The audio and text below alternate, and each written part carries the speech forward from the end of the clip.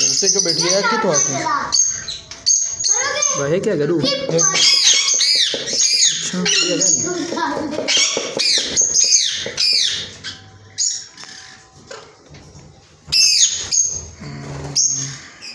ये नहीं